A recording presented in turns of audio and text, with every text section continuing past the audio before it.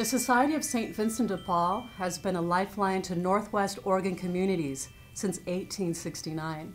We provide help to those in need of emergency food, rent and utility assistance, and short term emergency shelter.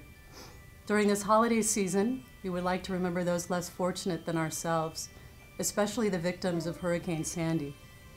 It's important also to remember that people are struggling in our own community. Sometimes we forget about our neighbors right here in East County who are forced to make heartbreaking choices, such as whether to pay the electric bill or buy food for their family.